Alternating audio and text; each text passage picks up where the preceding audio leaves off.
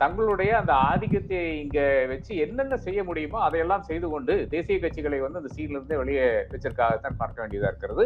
பாஜக காங்கிரஸா இருக்கலாம் திமுக அதிமுகவா இருக்கலாம் சமாஜ்வாதி கட்சி பகுஜன் சமாஜ்வாதி கட்சியாக இருக்கலாம் இல்ல மமதா கம்யூனிஸ்டுகளாக இருக்கலாம்.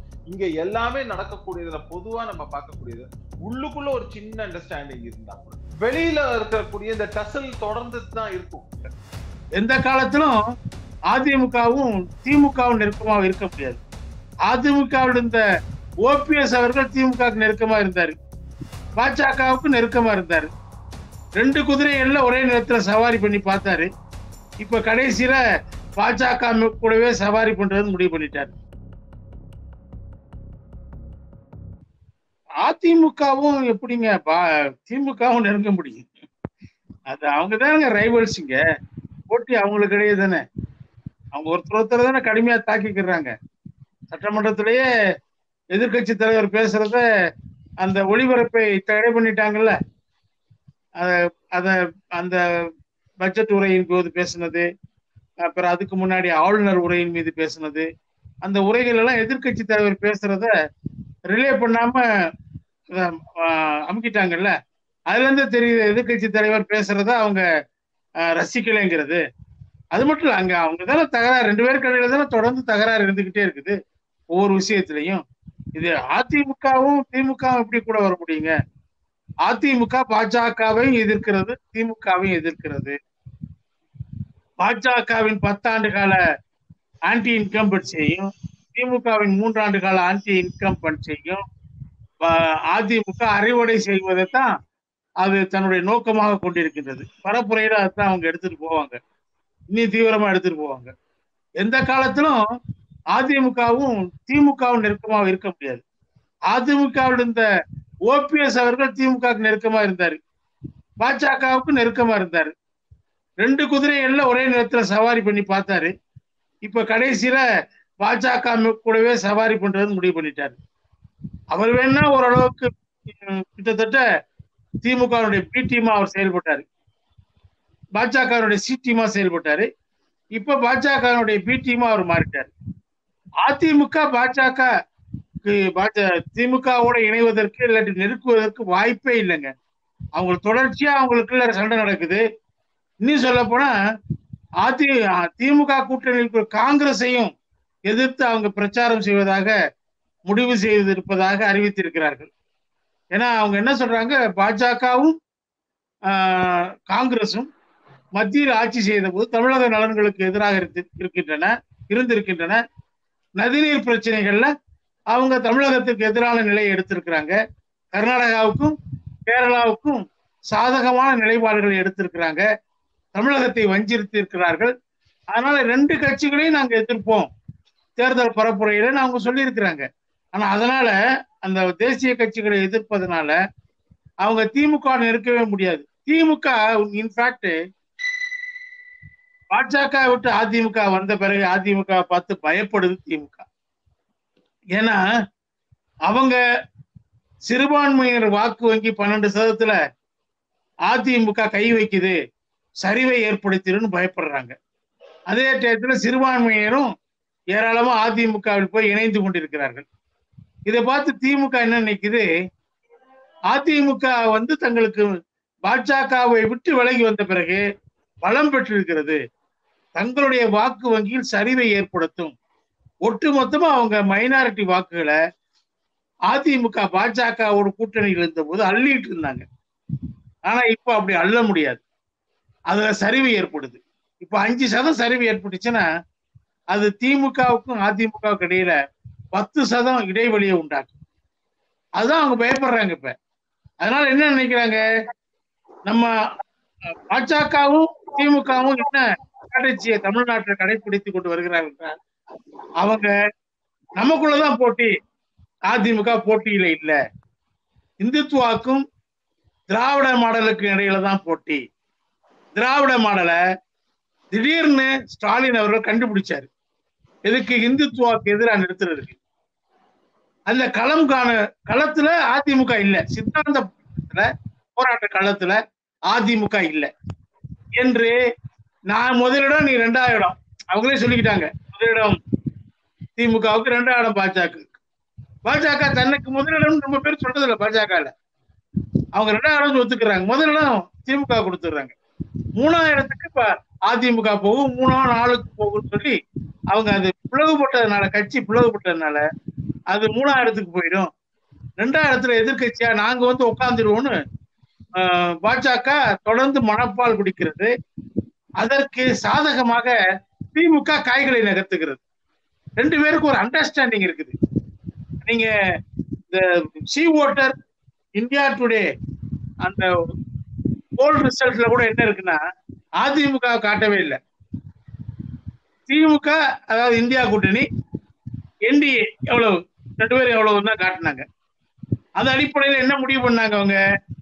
என்டிஏ அதிமுக அல்லாத என்டிஏ கூட்டணிக்கு பதினைந்து சதம் வாக்குகளை கொடுத்தாங்க. திமுகவுக்கு நாற்பத்தி ஏழு சதம் வாக்குகளை கொடுத்தாங்க. அதன் அடிப்படையில் திமுக முப்பத்தி ஒன்பது இடங்களையும் அவங்களே வெற்றி பெறுவார்கள் என்று சொன்னாங்க. இது ஓரளவுக்கு அகில இந்திய அளவில் பாஜகவுக்கு சாதகமா வந்திருக்கக்கூடிய பாஜகவுக்கு சாதகமா இருக்கக்கூடிய தொலைக்காட்சி மூலமாக நடத்தப்பட்ட கருத்து கணிப்பு அதுலயே என்ன செய்யறாங்கன்னா அதிமுக காட்டாம விடுறாங்க. அந்த போல் சர்வே ரிசல்ட்டை அவங்க அந்த டிவியில அனௌன்ஸ் பண்ணும்போது ஒருத்தர் கேட்கிறாரு அதுல. இந்த பேனலிஸ்ட் ஒருத்தர் கேட்கிறாரு அதிமுக எங்க இருக்கு? பிற கட்சிகள் முப்பத்தெட்டு சதம் கொடுத்துருக்கோம்ல அதுதான் அதிமுக அதுல இருக்கு. அதுல அதிமுக எவ்வளவுன்னு கேட்டாங்க. ஷார்ப்பா கேள்வி கேட்ட உடனே சி ஓட்டனுடைய ரெப்ரசன்டேட்டிவ் என்ன சொன்னார்னா அதிமுக முப்பது சதம் சொன்னாங்க அதை நீங்க ஏன் காட்டலன்னு சொன்னாங்க. இல்ல நாங்க என்டிஏக்கும் அப்ப அதிமுக என்டிஏக்கும் இந்தியா கூட்டணிக்கு இடையில தான் நாங்கள் கருத்து கணிப்பு நாடு முழுவதும் நடத்தியிருக்கிறோம். ஆனால் அப்படிதான் நீங்கள் எப்படி ஆந்திராவில் ஜெகன்மோகன் ரெட்டியினுடைய கட்சிக்கு இருபத்தஞ்சு இருபத்தாறு சீட்டு கிடைக்கணும் எப்படி சொன்னீங்க? அதே மாதிரி ஜார்க்கண்ட்ல அந்த அந்த எதிர்க்க ஆளுங்கட்சிக்கு நீங்க இத்தனை பர்சன்டேஜ் இத்தனை சீட்டுன்னு எப்படி சொன்னீங்க? அது எப்படி சொல்ல முடிஞ்சு உங்களால? இங்க மட்டும் சொல்ல மாட்டேங்கிறீங்க. இதுதான் இந்த திட்டத்தினுடைய ஸ்ட்ராட்டஜியினுடைய ஒரு வடிவம் விரிவாக்கம் எக்ஸ்டென்ஷன் ஆஃப் தி ஸ்ட்ராட்டஜி பாஜகவும் திமுகவும் கடைபிடிக்கிற ஸ்ட்ராட்டஜி அண்ணா திமுக களத்திலிருந்து அகற்ற வேண்டும். அதுக்காக தான் அவங்களுக்கு முப்பது பெர்சன்ட் வாங்கினாலும் அதை காட்டவே இல்லை. முப்பது பெர்சன்ட் ஹியூஜ் நம்பர் அது மட்டும் இல்ல நீங்க அதிமுக பாஜக விட்டு வெளியே வந்த பிறகு மேலும் அதிகமாக பலம் பெற்றுக் கொண்டிருக்கிறது. அது இரண்டு ஆன்டி இன்கம்பன்சி டபுள் வாமின்னு சொல்லுவாங்க. இரண்டையும் தனக்கு சாதகமாக தன்னுடைய பரப்புரையில் அது அது அது முயற்சி செய்யும்.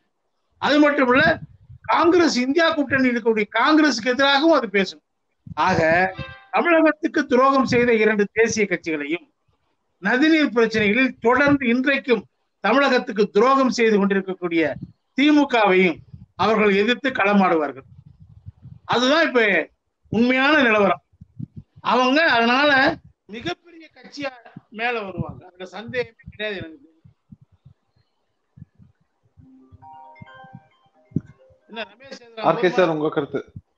ஆ என்னை பொறுத்தவரையில முக்கியமாக நிச்சயமாக திமுகவை பொறுத்தவரையானாலும் சரி அதிமுகவை பொறுத்தவரையானாலும் சரி ஒரு பிராந்திய கட்சி அதாவது திமுகவை பொறுத்தவரை அதிமுக அதிமுகவை பொறுத்தவரை திமுக எதிர்கொள்வதுதான் அவர்களுக்கு நலமாக இருக்கும் என்று ரெண்டு கட்சிகளும் உணர்ந்த காரணத்தால் தான் ஆயிரத்தி தொள்ளாயிரத்தி எழுபத்தி ரெண்டுல இருந்தோ இல்லை என்றால் எழுபத்தி ஏழுல இருந்தோ இல்லை என்றால் எம்ஜிஆருக்கு பிறகோ இந்த ரெண்டு கட்சிகளும் தொடர்ந்து பேசணுமா? அதான். இந்த ரெண்டு கட்சிகளும் என்ன செய்திருக்குன்னு பாத்தீங்கன்னா ஒரு இருங்க ஒரு நிமிஷம் நான் பேசிட்டு இருக்கேன். இந்த இரண்டு இரண்டு கட்சிகளும் என்ன செய்யிருக்குன்னு பாத்தீங்கன்னா ஏறத்தாழ தங்களுடைய அந்த ஆதிக்கத்தை இங்க வச்சு என்னென்ன செய்ய முடியுமோ அதையெல்லாம் செய்து கொண்டு தேசிய கட்சிகளை வந்து அந்த சீட்ல இருந்தே வெளியே வச்சிருக்காகத்தான் பார்க்க வேண்டியதா இருக்கிறது. இதுதான் என்னுடைய கருத்து. ஒண்ணு. இது ஏன் பாத்தீங்கன்னா முக்கியமாக பல இது தேசிய கட்சிகளும் அதற்கு ஏதுவாக பெரிதாக ஒன்றும் தமிழக பக்கம் தலை வைத்து படுக்கவில்லை என்றுதான் எனக்கு தெரியும். இப்போ இது வந்து ஃபர்ஸ்ட் என்ன நடக்குதுன்னு பாத்தீங்கன்னா காங்கிரஸை பொறுத்தவரை காங்கிரஸுக்கு ஒரு ஹோல்டெலாம் வருது எம்ஜிஆர் காலத்திலேயானாலும் ஆனாலும் சரி ஜெயலலிதா காலத்திலேயானாலும் சரி கலைஞர் காலத்திலேயானாலும் சரி. அதனால அவங்க ஓரளவுக்கு அப்படியே விட்டுறாங்க. அதாவது சரி பரவாயில்ல நம்மளுக்கு லோக்சபாவில் தான் இது தேவைப்படுது. லோக்சபாவில் தேவைப்படும் போது கா- காங்கிரஸ் ஐ மீன் அதிமுக ஆனாலும் சரி இல்லை திமுக ஆனாலும் சரி நமக்கு போதுமான அளவுக்கு வந்து சீட் தந்து கொண்டு தான் இருக்கிறது. அதனால நமக்கு என்ன பிரச்சனை என்ற இடத்திலிருந்து அவர்கள் வந்து அதை அணுகிறார்கள். அதன் பிறகு பார்த்தீங்கன்னா பல விஷயங்கள்ல அதாவது வடக்கு வாழ்கிறது தெற்கு தாய் செய்கிறது என்று அண்ணா கூறினால் கூட அது அதிமுக ஆனாலும் சரி திமுக ஆனாலும் சரி அந்த அளவுக்கு இந்த மத்தியில் இருக்கின்ற கட்சிகளை எதிர்த்து அவர்கள் அரசியல் செய்யவில்லை. பல விஷயங்கள்ல வந்து அவர்கள் ஒட்டு கொடுத்துதான் என்ன பண்றாங்கன்னு பாத்தீங்கன்னா தமிழகத்துக்கான ஸ்கீம்ஸ் எல்லாம் கொண்டு வந்துடுறாங்க.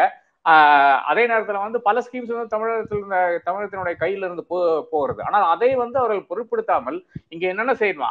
அது பல காங்கிரஸ் தலைவர்கள் கூட அதான் செய்துட்டு இருந்தாங்க. இப்ப ஆர்வியினுடைய அந்த காலத்துல இருந்தே நாம் பார்ப்போம் அவர் வந்து இங்க இண்டஸ்ட்ரியல் எஸ்டேட்ஸ் எஸ்டாப்ளிஷ் பண்ணணும்னு பாக்குறாரு. ஆனால் இருக்கின்ற முக்கியமான பெரிய பிளான்ஸ் எல்லாம் பாத்தீங்கன்னா ரயில்வேல இருந்து ஆரம்பிச்சு நம்மளுடைய பாக்கி இருக்கின்ற எல்லா ஸ்கீம்ஸ் வந்து டிஃபென்ஸ் ஃபேக்டரிஸ் ஆனாலும் சரி டிஃபென்ஸ் எஸ்டாப்ளிஷ்மெண்ட்ஸ் ஆனாலும் சரி எல்லாமே வட வட இந்தியாவில் தான் வருகிறது. இது ஒரு பக்கம் இருக்கு. பிற்காலத்தில் ஆயிரத்தி தொள்ளாயிரத்தி தொண்ணூத்தி இருந்து ஆரம்பித்து பார்க்கும்போது அப்பதான் காங்கிரஸுக்கும் ஒரு ஆசை வருகிறது. ஏன் நாமளும் வந்து இது க- வந்து கால் வந்த முடியாதா என்ற அந்த ஆசை வருகிறது. அதன் பிறகு சில விஷயங்கள் அங்கே நடக்கிறது. இப்போ காங்கிரஸ் வந்து ஜெயலலிதா கூட போனதுனால அப்கோர்ஸ் ஒரு மூப்பனாரனுடைய தமாக உருவாகிறது. இங்க ஒரு பலமாக வருகிறது. தமிழகத்தில் ஒரு பலமாக வருகிறது. அவர்களும் பிற்காலத்தில் வந்து காங்கிரஸ்லேயே போய் சேர்ந்துடுறார்கள். ஆனால் அதுல காங்கிரஸ் ஒரு ரிவைவல் இருந்தா கூட அதன் பிறகு என்ன ஆகுதுன்னு பாத்தீங்கன்னா அது ஆஹ் அந்த கோஷ்டி பூசல்ல வந்து பிரச்சனையாயிருது ஆனால் பாஜகவனுடைய அந்த முக்கியத்துவம் எங்க வருதுன்னு பாத்தீங்கன்னா அது வந்து நிச்சயமாக அது மோடி வந்த பிறகுதான் வருது. ரெண்டாயிரத்தி பதினாலுக்கு பிறகுதான் பாஜகவை பொறுத்தவரை தமிழகத்துல ஒரு பெரிய ஒரு ட்ரஸ்ட் என்று பாத்தீங்கன்னா அந்த டைம்ல தான் வருகிறது.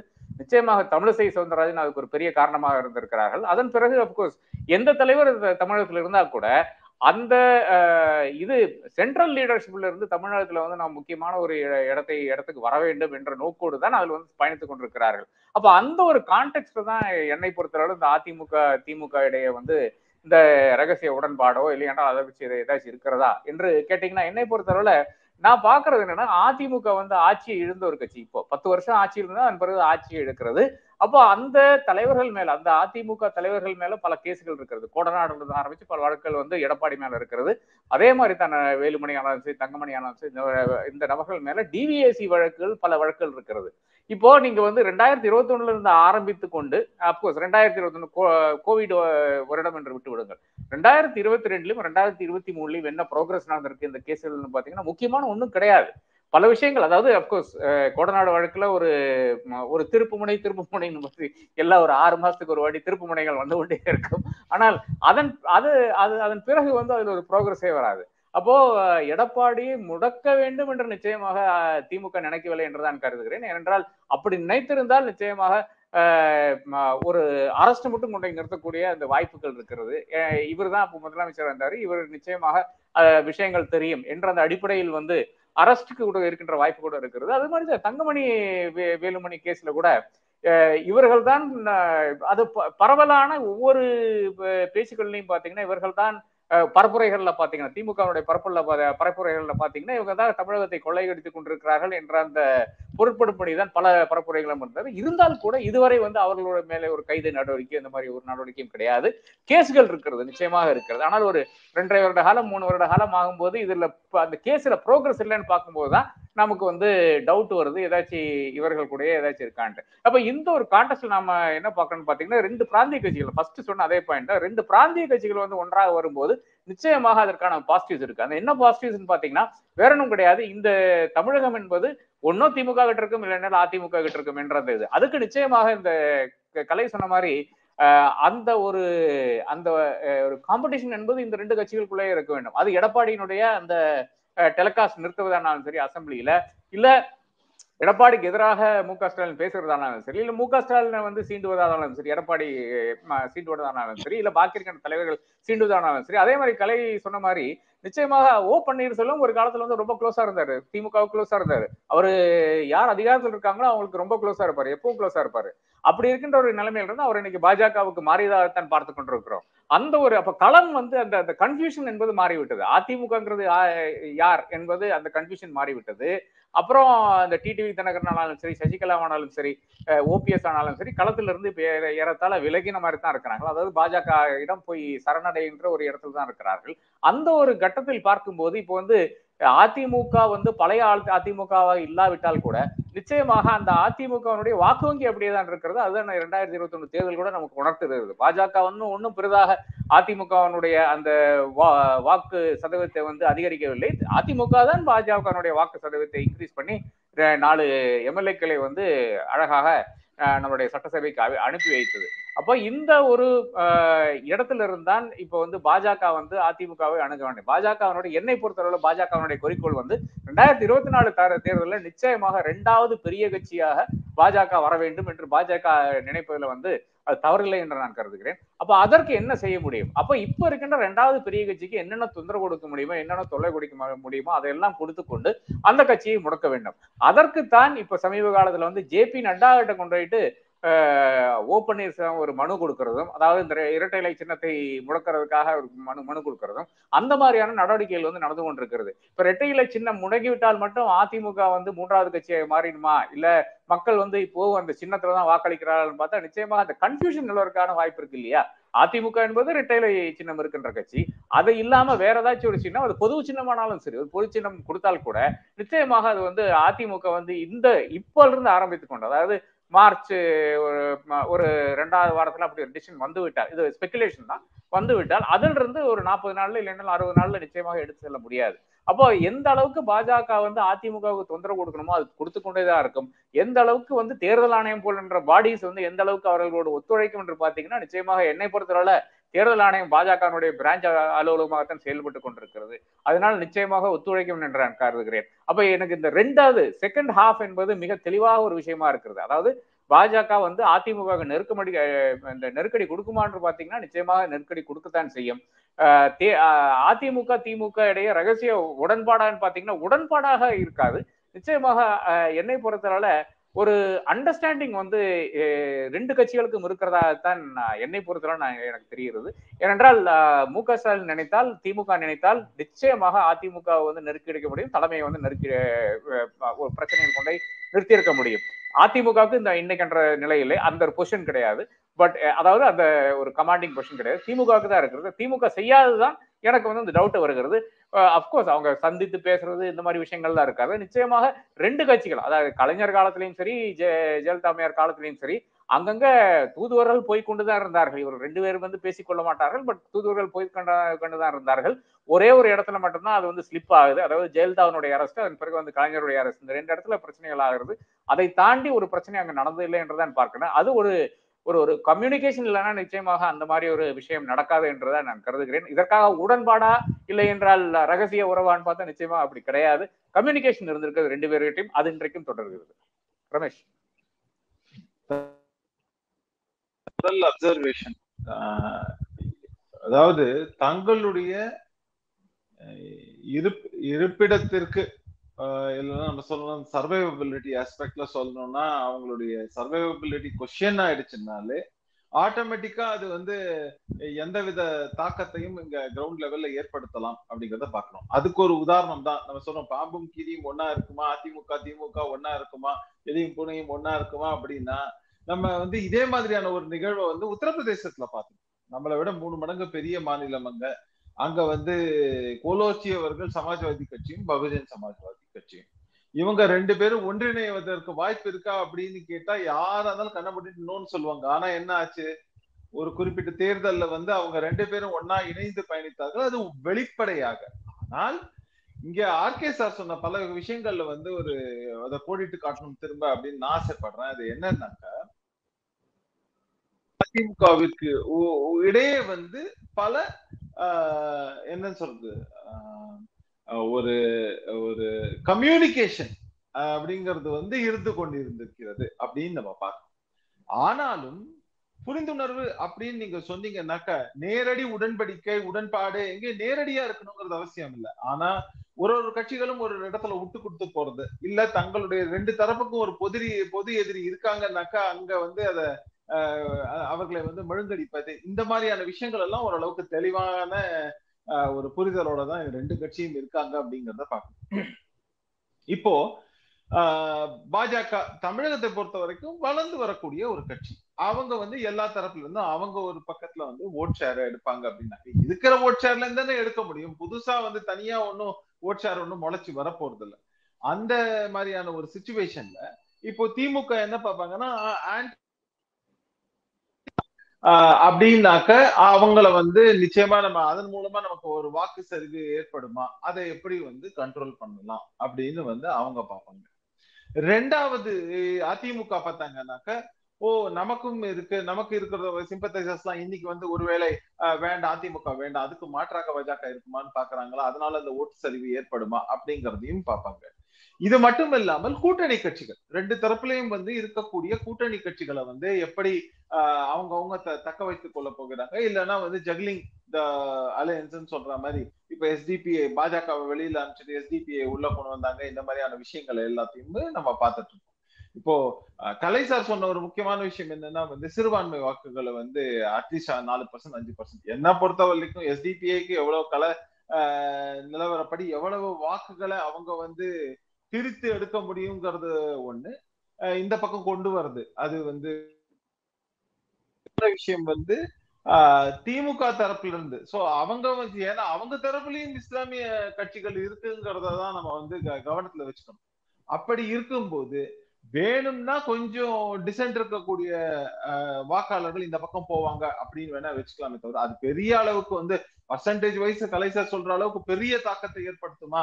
அப்படிங்கறது இருபது பர்சன்ட்ல அஞ்சு பர்சன்ட் போகுமான்னா அதெல்லாம் வந்து ஆஹ், நமக்கு வந்து மிகப்பெரிய அது ஒரு கேள்வி.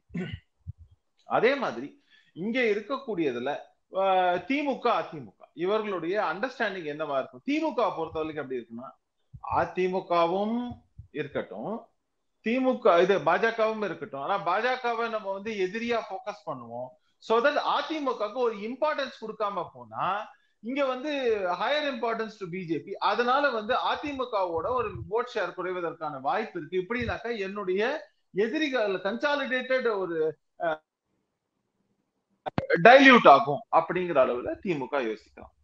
அதிமுக என்ன பார்ப்பாங்க அப்படின்னாக்க நம்ம வந்து எந்த காலத்திலயும் வந்து பாஜகவிற்கு ஒரு முக்கியத்துவம் கொடுத்துடக்கூடாது. அதனால நம்ம தான் வந்து ஆல்டர்னேட்டிவ் டு திமுக அப்படிங்கிற ஆங்கிள் அவங்களுடைய பேச்சுக்களோ அவங்களுடைய அஹ், எல்லா அட்டாக்கோ எல்லாமே இருக்கும். இந்த புரிதல்கள்ல நம்ம எப்பவுமே பார்க்கக்கூடிய ஒரு விவகாரம் பாஜக காங்கிரஸா இருக்கலாம் திமுக அதிமுகவா இருக்கலாம் சமாஜ்வாதி கட்சி பகுஜன் சமாஜ்வாதி கட்சியாக இருக்கலாம் இல்ல மமதா கம்யூனிஸ்டுகளாக இருக்கலாம். இங்க எல்லாமே நடக்கக்கூடியதுல பொதுவா நம்ம பார்க்கக்கூடியது உள்ளுக்குள்ள ஒரு சின்ன அண்டர்ஸ்டாண்டிங் இருந்தா கூட வெளியில இருக்கக்கூடிய இந்த டசல் தொடர்ந்து தான் இருக்கும். இல்ல ரொம்ப ஒரு கட்டி பிடித்து கொண்டு அஹ், கண்கள் பணித்தது இதயம் இனித்ததுன்ற ரேஞ்சுக்கு பண்ணாக்க அப்புறம் வாக்காளர்கள் என்ன அவங்க யோசிச்சு பாருங்க. அவங்க அவங்க எப்படி அதை பார்ப்பாங்கங்கிறது இருக்கு இல்லையா? அதுதான் வந்து சமாஜ்வாதி கட்சி பகுஜன் சமாஜ்வாதி கட்சி ஓப்பனா அலையன்ஸ் ஃபார்ம் பண்ணப்போ அதை வந்து நம்ம பார்த்தோம். அதுவே மிகப்பெரிய தோல்விக்கு ஒரு ஆப்பர்ச்சுனிட்டி அமைஞ்சது. ஒரு பக்கம் அதான் சொன்ன கீரியும் பாம்பையும் சண்டை விடுவது போல பார் பார் பண்ணிக்கொண்டே இருக்கிறோம்னு சொல்லிக்கொண்டே இருக்கணும். அப்பதான் அந்த எக்ஸைட்மெண்ட் இருந்துட்டே இருக்கும். ஆனா கடைசியில வந்து அது யா- ரெண்டு பக்கமும் இதுவா இருக்காது. அப்புறம் க- கலைஞ்சு போயிடுவாங்கங்கிறதெல்லாம் கடந்த காலங்களை பார்த்து இதே மாதிரி தான் இங்கேயும் ஒரு பக்கம் இதெல்லாம் நடந்து கொண்டிருக்கும். இன்னொரு பக்கம் டாசிட் அண்டர்ஸ்டாண்டிங் இருக்கும். அதுல வந்து இதை காமன் மினிமம் ப்ரோக்ராம்னு சொல்ற மாதிரி இது காமன் மினிமம் அண்டர்ஸ்டாண்டிங் எங்கேயும் பாஜக உள்ள வந்துடக்கூடாது. அவங்க வளர்ந்துடக்கூடாது. அப்படிங்கிறதுல திமுக என்னன்னா தங்களுடைய இப்போ லீடு பொசிஷனை தக்க வச்சுக்கணும். அதுக்கு வந்து அப்கோர்ஸ் ஏடிஎம்கே கொஞ்சம் வீக்கன் பண்ணணும். அதுக்கு கொஞ்சம் தட்டி இது பண்ற மாதிரி பாஜகவை நோக்கி போவோம். இன்னொரு பக்கம் ஏடிஎம்கேவே பாஜகவை அட்டாக் பண்ண வைக்கணும். அது அவங்க ட்ரை பண்ணணும். இதுக்கு நடுவுல வந்து ஓகே அண்டர்ஸ்டாண்டிங் அப்படி ஒர்ஸ்ட் கேஸ் வந்ததுன்னா விட்டு கொடுக்கறதுங்கிற ஆஸ்பெக்ட்ல கொஞ்சம் இப்படி அப்படி கொஞ்சம் போது பாஜக உள்ள வந்துட வேண்டாம் ஏன்னா ஒரு தேசிய கட்சி உள்ளுக்குள்ள கால் பதித்து விடக்கூடாது. ஏன்னா ஏற்கனவே ஆஹ், காங்கிரஸையே வந்து தங்க திமுக அப்படிங்கறத தான் நம்ம பாக்குறோம். அதில் வரக்கூடிய தலைவர்கள்ல பொதுவா 90% பர்சன்ட் தலைவர்கள் பாத்தீங்கன்னா இப்பெல்லாம் எப்படி பேசுறாங்கன்னாக்கா திமுகவின் ஆஹ், துணை கிளையோட ஒரு தலைவர்கள் ரேஞ்சுக்கு தான் வந்து புலங்காகிதம் அடைந்து அப்படி எப்படி எல்லாம் பேசுறாங்க அப்படிங்கறதெல்லாம் நம்ம பார்க்கணும். அப்படி இருக்கக்கூடிய ஒரு சூழல்ல நம்ம வந்து இதெல்லாம் ஒரு பெரிய ஒரு ஆஹ், என்ன சொல்ற சர்ப்ரைஸ் கிடையாது அப்படின்னு தான் நம்ம பார்க்கணும். வரும் காலங்கள்ல இந்த இது எலெக்ஷன் வரைக்கும் இது கண்டினியூ ஆகும் அப்படின்னு கூட நம்ம வச்சுக்கலாம். என்னன்னாக்கா திரும்பவும் திரும்பவும் நம்ம சொல்லக்கூடியது பாஜக வந்து அதிமுக கிட்ட இருந்து பிரிக்கணும்னு பார்த்தாங்க. அதிமுகவும் என்ன பார்த்தாங்க? பாஜக இல்லாமல் ஒரு ஆல்டர்னேட்டிவ் கூட்டணி போட்டு தங்களை ஏதாவது தங்களோட பொசிஷனை ஸ்ட்ரென்தன் பண்ணிக்க முடியுமா? ஒருவேளை பாஜகனால தங்களுக்கு ஒரு த்ரெட் வருமா? அப்படின்னு அவங்க பார்த்தாங்க. இது எல்லாம் சேர்ந்துதான் இப்ப நம்ம பேசக்கூடிய அத்தனை விஷயங்களையும் வந்து நம்ம வந்து இன்னைக்கு விட்னஸ் பண்ணிட்டு இருக்கோம் அப்படிங்கிறது என்னுடைய கலை செகண்ட் ரவுண்டு கடைசி ரவுண்டு இல்ல உத்தரப்பிரதேசல பிஎஸ்பியும் சமாஜ்வாடி பத்தியும் பாஜகவுக்கு எதிராக ஒன்று சேர்ந்தாங்க ஒரு தேர்தலில். படுதோல்வி அடைஞ்சாங்க.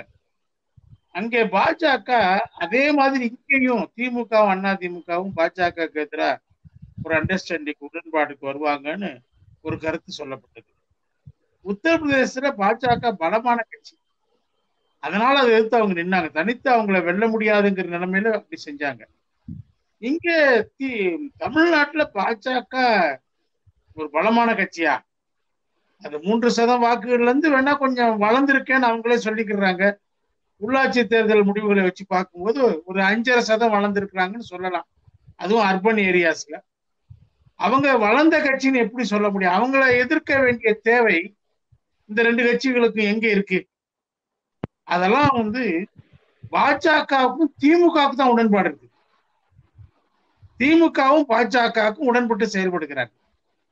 இப்ப தேர்தல் முடிகிற வரைக்கும் தேர்தல் முடிகிற வரைக்கும் இருவரும் கடுமையாக வாக்குவாதத்தில் போராட்டத்தில் ஒருவரை ஒருவர் தாக்கி கொண்டு நிற்பார்கள். அதான் அவங்க என்ன அப்படி அவங்க ரெண்டு பேரும் கடுமையான சண்டையில போட்டாதான் அதிமுகவை ஓரங்கட்ட முடியும். இதுதான் அவங்க ரெண்டு பேருடைய திட்டம். சமீபத்து சட்டமன்றத்துல அது வெளிப்பட்டது. இருக்கை விஷயத்துல திடீர்னு முதல்வர் என்ன சொல்றாரு அவங்களுக்கு கேட்கிற இருக்கையை கொடுத்துருங்கிற அதிமுக ஒரு பெரிய சலுகை பண்ற மாதிரி அவர் அதை காட்டிக்கிட்டார். இதுக்காக அதிமுகவை நாங்க பெருசா எதிரியா நினைக்கல. திமுக தலைவர்கள்ல பலர் என்ன சொல்றாங்க? நாங்க பங்காளிகள் பகையாளிகள் அல்ல. இது அதிமுக ஒரு தடவை கூட சொல்லல. அதிமுக தலைவர் எங்கேயும் சொல்லல. திமுக இதை திருப்பி திருப்பி ஒவ்வொரு தலைவரா சொல்லிட்டே இருக்கிறாங்க. நாங்க பங்காளிகள் பங்காளி சண்டை. நாங்க பகையாளிகள் இல்லைன்னு சொல்லி. ஆனா பாஜக தான் பகையாளின்னு சொல்லிக்கிறாங்க. காரணம் என்னென்ன? பங்காளி சொல்லிட்டு அதிமுக அமுக்கிடலாம் அப்படின்னு திமுக திட்டமிடுது. பாஜகவும் இந்த நாளா உடைஞ்சு போயிட்டாங்க. ஒண்ணு சேருங்க நாலு பேரும். துண்டு துண்டா போனவங்களை எல்லாம் பெருசா கன்சாலிடேட் ஆன கட்சியோட கட்சி கன்சாலிடேட் ஆகி போச்சு. அது உச்ச நீதிமன்றம் தேர்தல் ஆணையம் எல்லாம் அங்கீகரிக்கப்பட்ட அந்த கட்சிய இன்னும் பழைய அந்த துண்டு துண்டா போன துக்காணிகள் எல்லாம் திரும்ப சேர்த்துக்கோ. ஒன்னா சேர்ந்தாதான் ஜெயிக்க முடியும்னு சொல்லி பாஜக திரும்ப திரும்ப சொல்லிக்கிட்டே இருக்குது. காரணம் என்ன? நீங்க நாலு பேரும் ஒண்ணு சேர்ந்தீங்கன்னா உங்களை சமநிலையில வைத்து நான் நாட்டாம பண்ண முடியும். நீங்க பிரிஞ்சு ஒரு பக்கமா சேர்ந்துட்டீங்கன்னா அணி சேர்ந்துட்டீங்கன்னா நீங்க என்னையே மதிக்க மாட்டீங்க. அதனாலதான் அவங்க ஆரம்பத்துல இருந்து சொல்லிட்டே இருந்தாங்க. அதை எடப்பாடி அணியை சார்ந்தவர்கள் ஏற்றுக்கொள்ளவில்லை. பொதுக்குழுவும் ஏற்றுக்கொள்ளவில்லை. பலமான பொதுக்குழு அந்த பாஜகவுடைய சதி திட்டத்தை முறியடித்தது.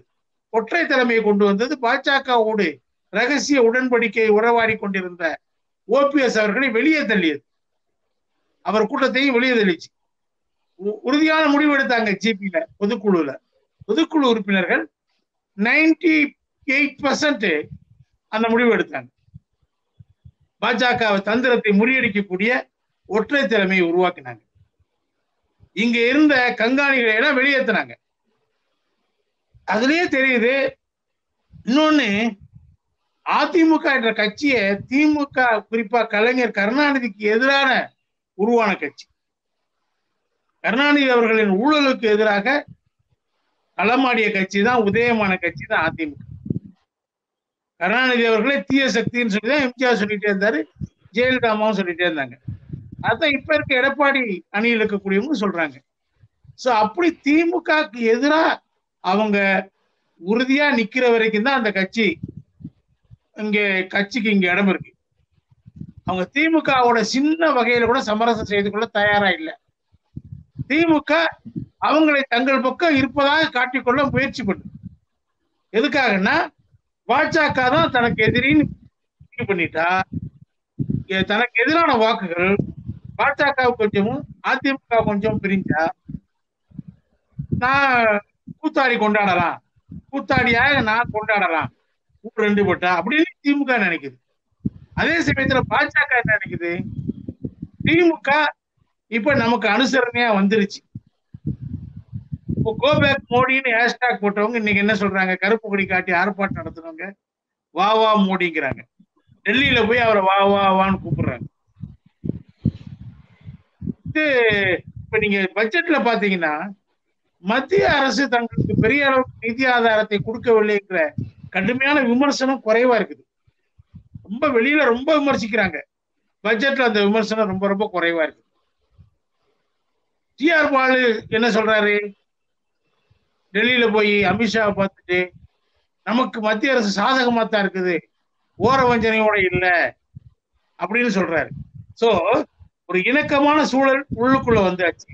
ஆனா வெளியில அவர்கள் கடுமையான எதிரிகளை ஒரு வேஷம் தெரிவித்து நாடகம் ஆடுகிறார்கள்.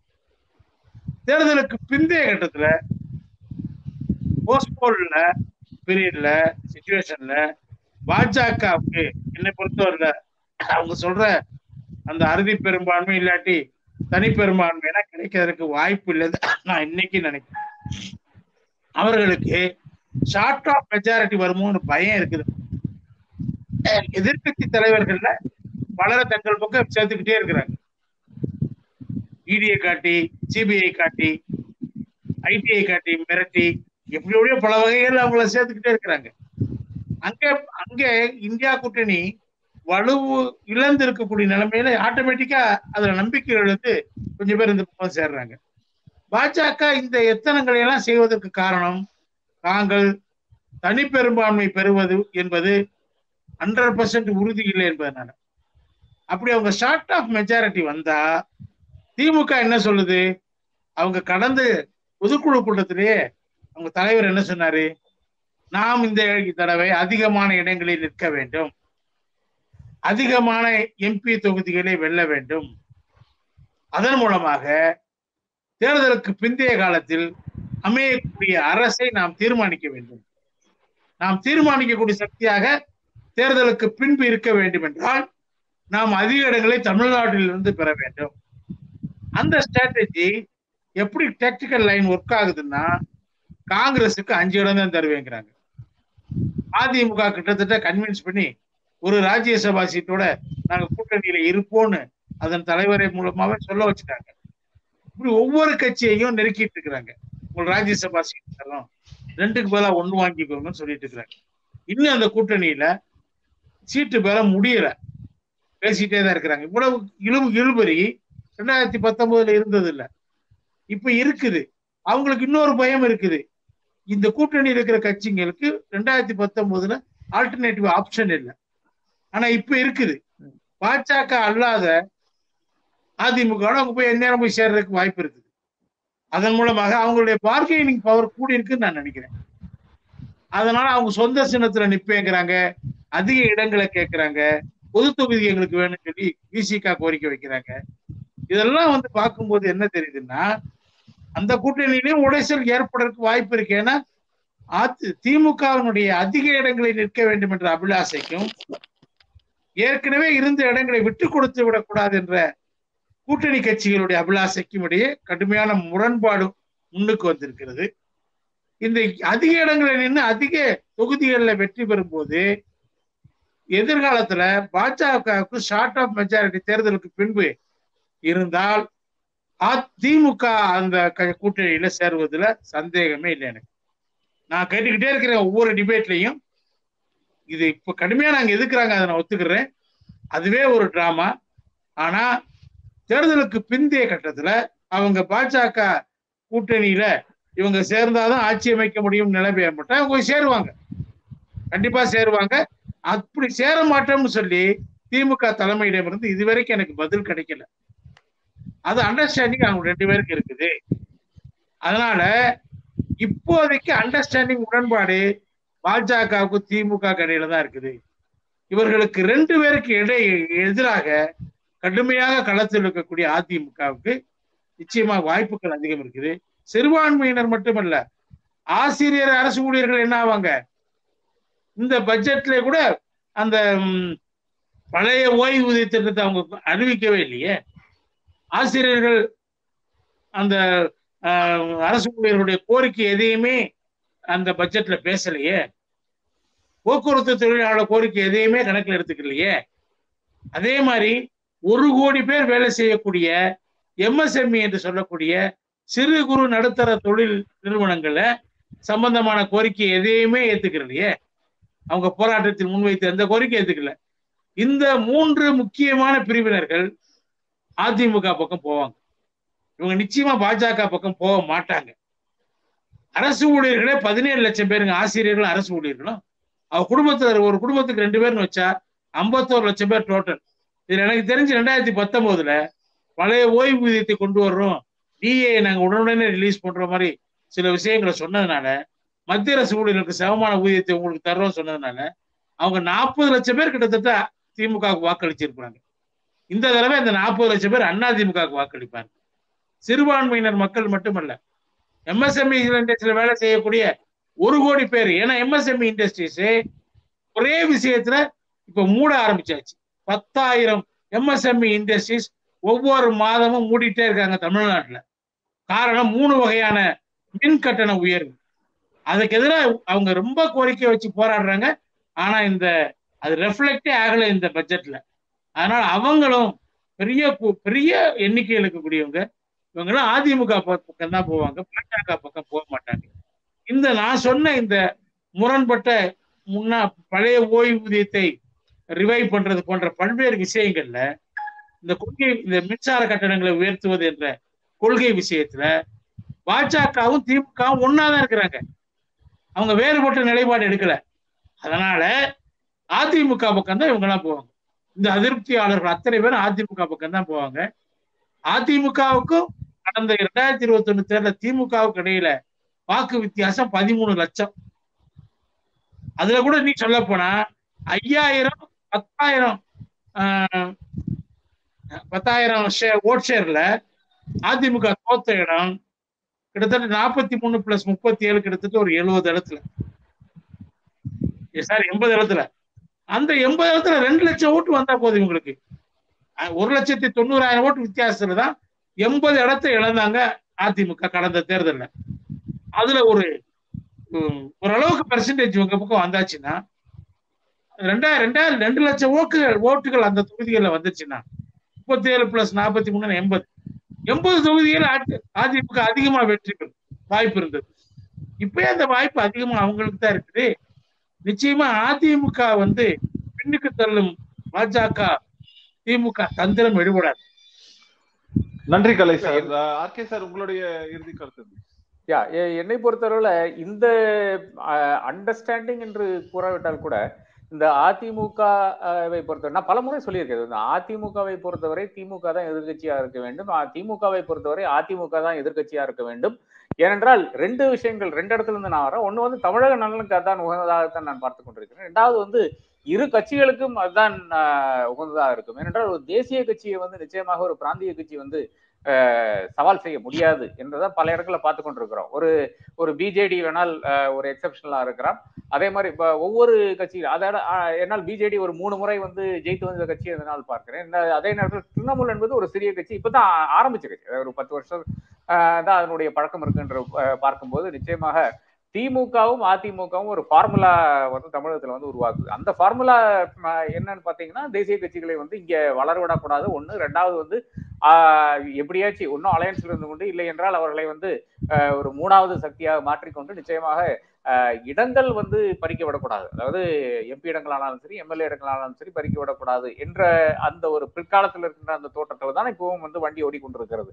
அப்போ நிச்சயமாக அதற்கு ஏதுவான விஷயங்களை தான் ரெண்டு பேரும் செய்வார்கள். என்றால் இது வந்து ஒரு இன்ஸ்டிடியூஷனல் மெமரி இருக்கு. அதிமுக அதிமுகனாலும் சரி திமுகனாலும் சரி தலைவர்கள் மாறிக்கொண்டிருக்கலாம். அப்படி மாறினால் கூட அவர்களுக்கு இருக்கின்ற அந்த மெமரி அதாவது இது வந்து சர்வைவலினுடைய ஒரு டாக்டிக்காக தான் பார்க்க வேண்டியதாக இருக்குது. அப்போ அந்த தளத்தில் இருந்து பார்க்கும்போது நிச்சயமாக ஒரு ஒரு பாஜக என்ற அந்த அந்த ஜெகர்நாட் எலெக்ஷன் ஜெகர்நாட்டை வந்து ஃபேஸ் பண்ண வேண்டும் என்றால் ஒரு ஏதோ ஒரு இடத்துல வந்து பாக்கி இருக்கின்ற அனைத்து கட்சிகளும் ஒரு காமன் புள்ளி இருக்குதான் செய்கிறது. அந்த காமன் புள்ளி என்பது இல்லை என்றால் நம்மளுடைய அந்த கட்சியே இருக்காது என்ற அளவுக்கு தான் இப்போ இந்த இந்தியா கூட்டணிங்கிறது என்ன? இந்தியா கூட்டணிங்கிறதே வந்து அது பாஜக ஒரு anti BJP force anti Modi force கூட சொல்லலாம். அதை தாண்டி ஒரு அஜெண்டா இல்லை. எனக்கு பிரச்சனை வருகிறது அங்கதான். அதாவது ஒரு ஒரு ஆன்டி மோடி என்ற ஒரே ஒரு அஜெண்டா இருக்கும்போது ஒரு ஆன்டி பிஜேபி என்ற ஒரே ஒரு அஜெண்டா மட்டும்தான் உங்ககிட்ட இருக்குது என்றால் அப்புறம் நீங்க வந்து வாட் ஆர் யூ டூயிங் நீங்க அது- அதுக்கப்புறம் என்ன ஆகுது போகுது பிஜேபி இப்போ வந்து தோத்து விட்டேன்னு வச்சுக்கோங்க ஆன்டி மோதின்னு இருக்கிறது அதை அதை முடித்து விட்டால் அடுத்தாக நீங்க என்ன செய்ய போறீங்க அந்த ஆன்சர் வந்து இங்க இருக்குதுன்னு சொல்றேன். அதாவது ஒரு ஆன்டி நேஷனல் பார்ட்டின்ற ஸ்டாண்ட்ஸ்ல வந்து அதிமுகவும் திமுகவும் ஒரு உறுதியாக இருக்கிறார்கள். அதை தாண்டி நீங்க என்ன பண்ண போறீங்கன்னு பாத்தீங்கன்னா நம்ம வந்து தமிழக நலனுக்காக நாங்க வந்து உழைக்க போறோம் என்பது அனை ரெ- ரெண்டு பேரும் சொல்லியிருக்கிறார்கள். அப்போ அங்கங்க சிறிய ஸ்கீம்ஸ் வந்து இங்க இருக்கின்ற சில ஸ்கீம்ஸ் வந்து அந்த அந்த கட்சி வந்தா வராது. இல்லை என்றால் பேர் மாற்றம் நடப்ப நடைபெறும். ஆனா இருந்தாலும் இருக்கின்ற பெருவாரியான ஸ்கீம்ஸ் வந்து வெல்ஃபேர் ஸ்கீம்ஸ் தமிழகம் தான் இந்தியாவுக்கே வெல்ஃபேர் ஸ்கீம்ஸினுடைய லாபாரதி என்ற அழைக்கப்படுகின்ற யூபியிலும் பார்க்கின்ற இட இடங்களில் அழைக்கப்படுகின்ற அதன் மூலம் வந்து பல லட்சம் மக்களுக்கு வந்து பயனடைகின்ற ஸ்கீம்ஸ் இன்னைக்கு யூபியிலும் பீகார்லையும் இருக்குன்னு பார்த்தீங்கன்னா அதுக்கு வந்து முன்னோடியாக இருந்தது வந்து தமிழகம் தான். அப்போ அந்த இடத்துல இருந்து நான் பார்க்கும்போது அவ- அவர்கள் ஒரு ஆன்டி நேஷனல் பார்ட்டி என்ற ஒரு ஒரு ஒரே ஒரு கொள்கை மட்டும் கிடையாது. அவர்களுக்கு anti national party plus development of Tamil Nadu என்ற அந்த ஒரு நோக்கம் இருந்தனால அதுக்கு ஒரு திராவிடன் மாடல் என்ற பெயரை சூட்டுறதுனால நிச்சயமாக அது வந்து இதுவரை ரெண்டு இடத்துலையும் அந்த மக்களிடையும் எடுபடுது அது வந்து பாக்கி இருக்கின்ற அரசியல் கட்சிகளிடையும் எடுபடுது என்றுதான் பார்க்க வேண்டியதா இருக்கிறது. அப்ப என்னை பொறுத்தவரை வந்து நிச்சயமாக ஒரு ஒரு அண்டர்ஸ்டாண்டிங் என்பது ரெண்டு பேரும் உட்கார்ந்து கொண்டு ஒரு ஒப்பந்தத்தில் வந்து கையெழுத்து போட மாட்டார்கள். அதே நேரத்துல அவர்களுக்கு அந்த அரசியல் சுச்சுவேஷன்ஸ்க்கு இணங்க அவர்கள் வந்து பயணித்துக் கொண்டு போகிறார்கள் என்றுதான் பார்க்க வேண்டியதா இருக்கிறது. அந்த அரசியல் சுச்சுவேஷன்ல பல சுச்சுவேஷன்ல வந்து ஒரு கட்சிக்கு வந்து நெருக்கடி வரும்போது நிச்சயமாக அடுத்த திராவிட கட்சி அடுத்த பெரிய திராவிட கட்சி திமுகவுக்கு நெருக்கடி வரும்போது அதிமுகவும் அதிமுகவுக்கு நெருக்கடி வரும்போது திமுகவும் ஓரளவுக்கு விட்டு கொடுத்து தான் போயிருக்கிறது என்றுதான் என்னுடைய ஒரு ஒரு முப்பது வருஷ அரசியல் பய அரசியல் கம் அரசியலை நான் பார்த்தேன் பார்த்து கொண்டிருந்தேன் என்ற ஒரு நபர் ஒரு ஒரு எக்ஸாமினர் இல்லை என்றால் ஒரு கீன் அப்சர்வர் என்ற நிலையில் வந்து எனக்கு அதுதான் தெரிகிறது. அதை தொடரும் என்றுதான் நான் கருதுகிறேன். நிச்சயமாக பாஜக வந்து இரு கட்சிகளுக்கும் தொந்தரவு கொடுத்து கொண்டுதான் இருக்கும். இப்போவே ஏற்கனவே ஒரு அஞ்சாறு அமைச்சர்கள் மேல இருக்கின்ற அந்த நடவடிக்கைகளானாலும் சரி இப்ப செந்தில் பாலாஜி வெளிவிடதா விடாதற்கானாலும் சரி பொன்முடி இப்போ வந்து அமைச்சர் இல்லை இந்த மாதிரியான பல விஷயங்கள் வந்து திமுகவுக்கு நெருக்கடி கொடுத்து கொண்டு இருக்கிறார்கள். ஏறத்தால் அதே நெருக்கடி இல்லையா அதுக்கு மேலான நெருக்கடி வந்து அதிமுகவுக்கு வரக்கூடிய அந்த வாய்ப்பு இருக்கிறது. ஏனென்றால் இந்த ரெண்டாவது பெரிய கட்சி என்ற இடத்தை வந்து பாஜக பிடிக்க கூடும். அப்ப வருங்காலத்தில் வருங்காலத்துல அதாவது இன்னொரு அடுத்த அடுத்த நாற்பது நாள்ல வந்து இன்னும் பயங்கரமான காரசாரமான விஷயங்கள் வந்து தமிழகத்தில் நடக்கதான் போறது அரங்கேறத்தான் போறது. இதுல வந்து எத்தனை அமைச்சர்கள் காலியாவார்கள் என்று எனக்கு கூற முடியாது. பட் இருந்தாலும் நிச்சயமாக அமைச்சர்கள் வந்து டார்கெட் லிஸ்ட்ல இருக்கிறாங்க என்றதுதான் உறுதியாக எனக்கு கூற முடியும். அதே மாதிரி அதிமுக இருக்கின்ற பலர் நம்ம- முன்னணி முன்னணி தலைவர்களும் இந்த லிஸ்ட்ல இருக்கிறார்கள். அவர்களும் இதற்கு ப்ரிப்பேர்டாக இருக்க வேண்டும் என்றதுதான் என்னுடைய இறுதி கருத்து. நன்றி சார். என்ன பொறுத்த வரைக்கும் ஒரே ஒரு விஷயம் தான் நீங்க சொன்னது எல்லாரும் ஒத்துக்கொள்ளக்கூடிய ஒரே விஷயம் வந்து ஒரு டாசிட் அண்டர்ஸ்டாண்டிங் இருக்கு. அது மெயினான என்னன்னா டாப் அஜெண்டா என்னன்னாக்கா தேசிய கட்சிகள் வந்து இங்கே கோலச்சி விடக்கூடாது. அவங்க தனிப்பட்டு இயங்கும் அளவுக்கு அவங்களுக்கு ஒரு பெரும்பான்மை கிடைத்து விடக்கூடாது. அப்படிங்கறதுல வந்து தெளிவா இருக்காங்க ரெண்டு கட்சியும். அது வந்து வெளிப்படையாக நோக்கி நகரும் போது அதே சமயத்தில் தங்களுக்கான ஒரு இம்பார்ட்டன்ட் பிளேஸ் அது நீயா நானா அப்படிங்கறத வந்து அதுலயும் ஒரு ஃபோக்கஸ் இருக்கு. இது இதுல வந்து பாஜக இந்த இந்த வியூகத்தை உடைத்து எப்படி வளர்வது அப்படிங்கிற ஆஸ்பெக்ட்ல வந்து அவங்க ஃபோக்கஸ் பண்றதுங்கிறது அவங்க தொடர்ந்து செஞ்சு கொண்டு தான் இருப்பாங்க. அதுவும் குறிப்பா சொல்லணும்னாக்கா ஓகே சென்ட்ரல்ல வந்து மூணாவது டேர்ம் வராங்க அப்படின்னாக்க அப்போ தங்களது பலத்தை எப்படி வந்து பிரயோகிப்பது? உடனே வந்து இதுக்காக நம்ம நான் சொல்வது வந்து இடியோ மற்ற விஷயங்களையோ சொல்ற ஜென்ரலா சொல்றது வந்து இந்த மாநிலத்துல எப்படி எப்படி எல்லாம் தங்களை ஸ்ட்ரென்தன் பண்ணி பார்த்து தங்களோட அரசியல் வியூகத்தை எப்படி எல்லாம் அதற்கேற்றது போல் மாற்றி அமைத்துக் கொள்வது இந்த மாதிரியான விஷயங்களை தொடர்ந்து செய்வாங்க அப்படிங்கறத வந்து நம்ம பார்ப்போம். அதே நேரத்துல நாளைக்கு பாஜக ஆட்சி கட்டில் அமர்ந்தால் இதே மாதிரியா நீங்க சொன்ன ஒரு முக்கியமான பிரச்சனை வரும். அதிமுக வந்து கூட்டணி இருக்குமா? இல்ல தோழமை கட்சியா இருக்குமா? இல்ல நாங்க வந்து பாஜக சென்ட்ரல் கவர்மெண்ட் இருந்தா கூட எதிர்த்து அரசியல் செய்வோம்னு சொல்லுவாங்களா? அது ஒண்ணு இருக்கு. அஹ் நீங்க வந்து திமுக தரப்புலையும் வைக்க முடியும். காரணம் என்னன்னாக்கா திமுக வந்து அவங்க என்ன சொல்லுவாங்க ஒருவேளை காமன் மினிமம் ப்ரோக்ராம்ல நாங்க ஆதரவு கொடுக்கிறோம் நாங்க வந்து கூட்டணியில் இணைந்து செயல்படுவோம்னு சொல்ல போறாங்களா? இல்லைன்னா வந்து இல்ல இல்ல எங்களது வந்து ஐஎன்டிஏ கூட்டணி அந்த கூட்டணி சார்பாக விஷயங்கள்ல தான் நாங்க கவனம் செலுத்துவோம்னு சொல்ல போறாங்களா? அந்த கூட்டணி வந்து எலெக்ஷன் வரைக்கும் இருக்குமா இல்ல எலெக்ஷன் முடிஞ்சதுக்கு அப்புறம் இருக்குமா இது மாதிரியான விஷயங்கள் எல்லாத்தையும் நம்ம வந்து பார்க்கத்தான் போகிறோம். அடுத்த நூறு நாள் அடுத்த நூறு நாள்னு நம்ம முதல்வரும் பேசியிருக்காரு நம்ம பிரதமரும் பேசியிருக்காரு. நமக்கும் வந்து ரொம்ப இன்ட்ரெஸ்டிங்கானது அடுத்த நூறு நாள் அப்படின்னு நான் பாக்குறேன் சோ நம்மளும் அதுவும் தேர்தல் மட்டுமல்ல இந்த அரசியல் களத்தையும் முன்னிட்டு பார்த்து கொண்டிருக்கும் நம்ம நம்மை போன்ற பார்வையாளர்கள் விமர்சகர்கள் நமக்கு எல்லாம் அதுவும் ஜேர்னலிஸ்ட் ஆர்கே சார் போன்ற ஜெர்னலிஸ்ட் இவங்க எல்லாருக்குமே வந்து அஹ், இது வந்து ஒரு இன்ட்ரெஸ்டிங் பீரியட் அப்படின்னு சொல்லலாம். Absolutely thank you so much Baba thank you